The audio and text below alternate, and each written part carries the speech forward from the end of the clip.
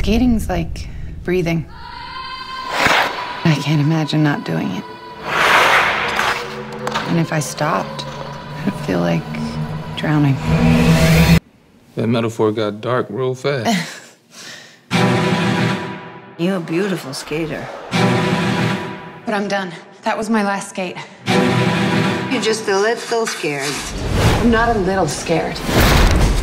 I'm terrified. You are perfect. And now when I look at you, all I see is wasted potential. I could whack her knee with a bat. Or is that too 90s? I've seen some of your old competition tapes. You were fearless. You've been watching tapes of me? It's my porn.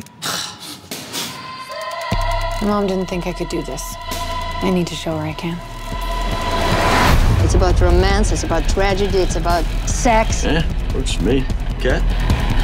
I'm used to skating alone. I need time to adjust. I'm gonna ruin everything.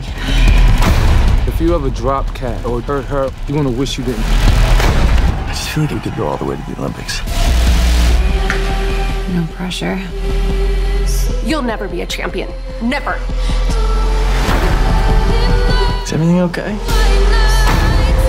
just feels like everything's falling apart.